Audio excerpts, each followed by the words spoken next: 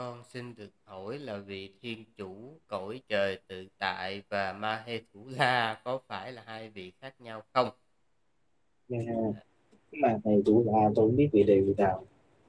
Ờ gì chờ tí xíu. Gọi là cái vị gọi là đà, đại tự tại thiên á. À, thì à, đây á là cái à, cái cái vị um,